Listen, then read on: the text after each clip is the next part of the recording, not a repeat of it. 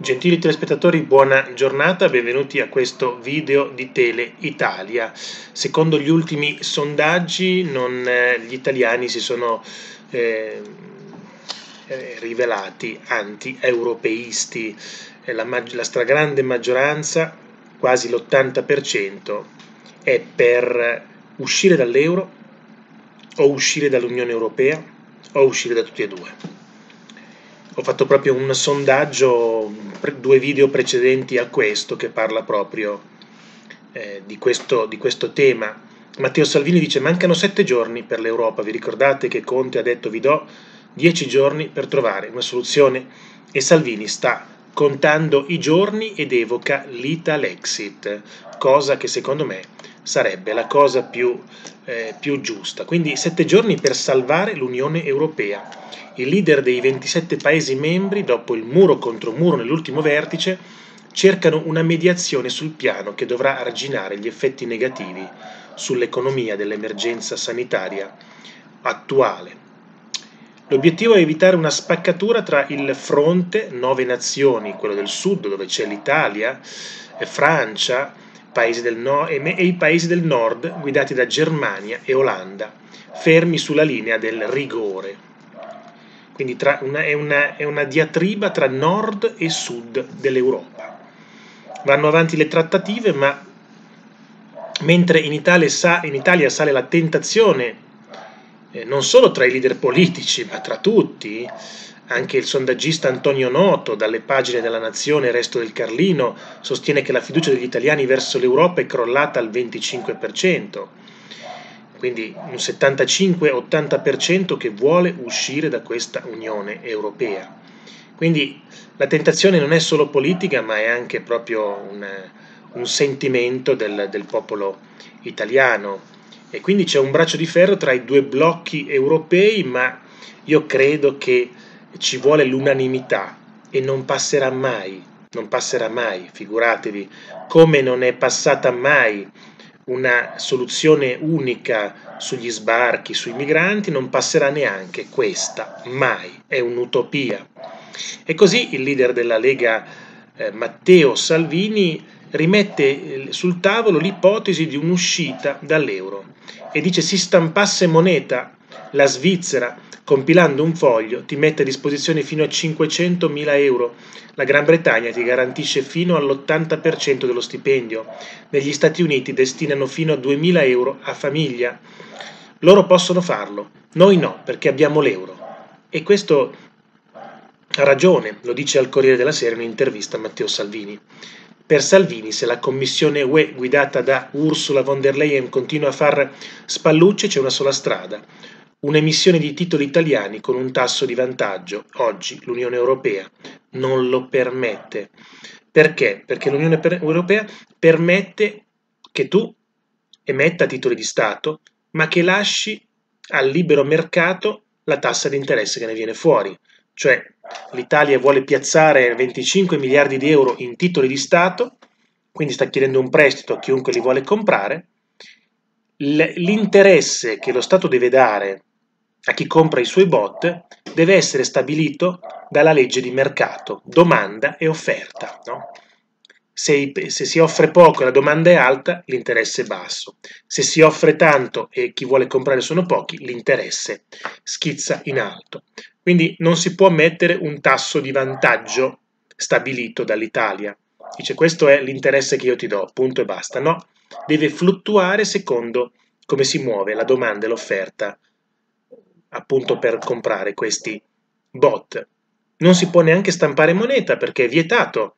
I paesi membri dell'Eurozona, quelli che adottano l'euro, hanno il divieto di poter stampare la moneta. È solo la Banca Centrale Europea che stampa la moneta, che ha l'autorizzazione. Quindi non si può produrre monete, cioè accendi la zecca e stampami 50 milioni che li devo dare a Tizio Caio Sempronio. Non si può. È per questo che l'unico modo di avere dei soldi è chiederli in prestito. Ovviamente, o ce li hai di tuo, ma l'Italia non ce li ha. Ce li hai di tuo messi da parte, non ce li ha. Ha l'oro messo da parte.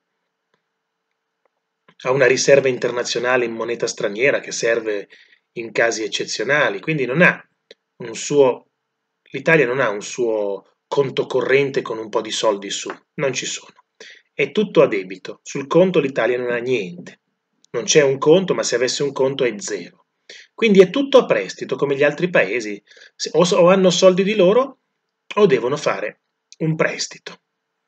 È questo che vorrebbe evitare Matteo Salvini dicendo torniamo, usciamo dalla, dalla, dall'Eurozona, quelli che adottano l'euro, così non abbiamo più problemi, ci possiamo stampare noi le lire se torniamo alle lire.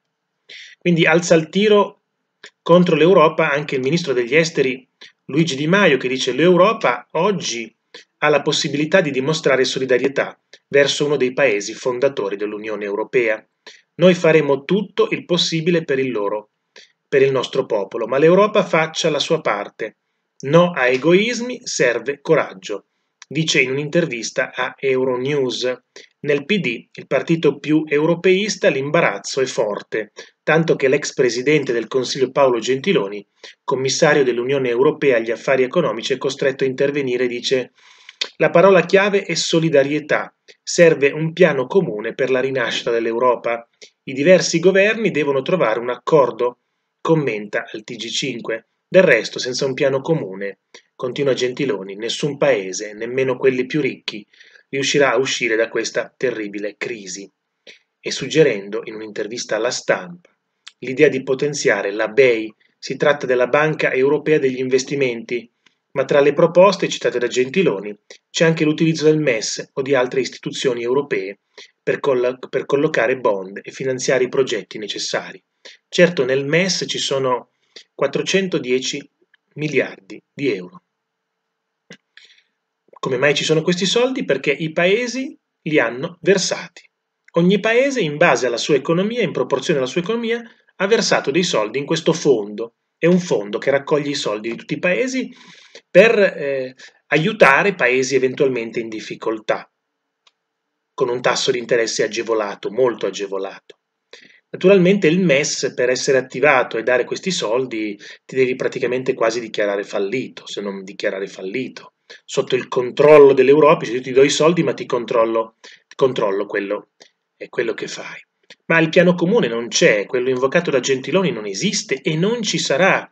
Attenzione che tra sette giorni, come diceva Conte, non ci sarà nessuna risposta.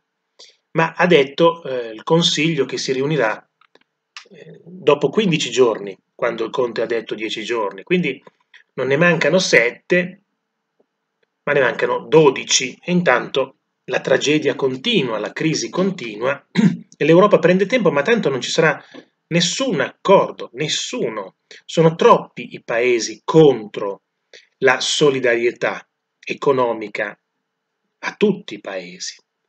Quindi il Consiglio dell'Unione Europea ha incaricato la Commissione di elaborare una proposta per la ricostruzione. Italia, Francia e altri sette paesi chiedono l'emissione comune di Eurobond per raccogliere i miliardi da destinare all'emergenza. Una proposta che incassa il sostegno dell'ambasciatore americano in Italia Lewis Mitchell Eisenberg, ma la presidente von der Leyen non molla il fronte del no inizia però a scricchiolare. Tre paesi baltici e la Slovacchia, da sempre a favore dell'Europa del Nord, sarebbero pronti a sottoscrivere la richiesta degli Eurobond. Altra strada, suggerita dai ministri PD Roberto Gualtieri ed Enzo Amendola, è il ricorso al MES, il Fondo Salva Stati. Ma c'è l'ostacolo delle condizionalità, cioè le clausole, chiamiamole le clausole, eh, l'accesso al fondo contiene il rischio di una richiesta di ristrutturazione del debito pubblico. Quindi vuoi che ti do i soldi e devi ristrutturare il debito pubblico e ristrutturare quello italiano è impossibile. È uno dei più alti del mondo, al 140%. Ristrutturarlo vuol dire abbassarlo e per trovare quei soldi per abbassarlo, eh, sono, i soldi per abbassare il debito pubblico italiano sono molti di più di quelli che l'Italia chiederebbe al MES per la crisi. Quindi è un cane che si morde la coda. Quindi ipotesi già bocciata dal capo dello Stato, Sergio eh, Mattarella. Quindi eh, questa è la situazione attuale. Io vi ringrazio per avermi ascoltato, vi invito ad iscrivervi al canale, l'iscrizione è gratuita e siamo anche in Facebook nella pagina Tele Italia. Io vi ringrazio per avermi ascoltato e vi auguro buon proseguimento di giornata. Arrivederci.